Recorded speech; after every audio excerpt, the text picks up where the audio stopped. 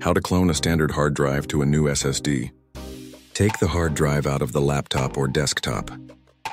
Put the standard drive and SSD or solid state drive in a hard drive bay.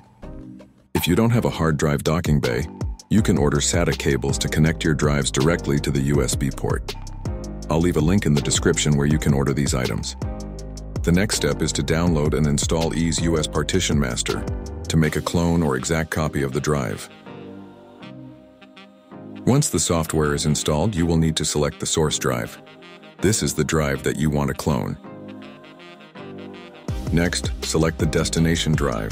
This is the drive that you're cloning to. This process can take hours, depending on the size of the drive and the amount of data to clone. Once the cloning process is completed, connect the solid-state drive to the cables where the standard hard drive was removed. For more information, check out our blog where we've detailed the steps for replacing your standard hard drive with a solid-state drive and highlighted the benefits of making the switch. Thanks for tuning in.